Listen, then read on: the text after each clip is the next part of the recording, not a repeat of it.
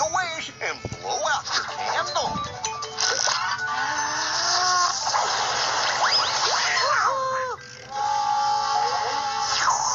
Why in